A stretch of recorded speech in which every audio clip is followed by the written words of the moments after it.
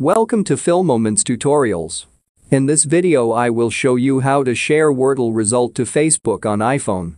If you are new to this channel please subscribe and hit the bell button to be updated with our latest upload. In the game, right after you guess the word, the statistic will appear. Tap on this share button. And it will say results copied to clipboard. Now open your Facebook. Create a post. Long press in here till you see the option to paste. Click paste, then you will see or hear the result. Finally post it.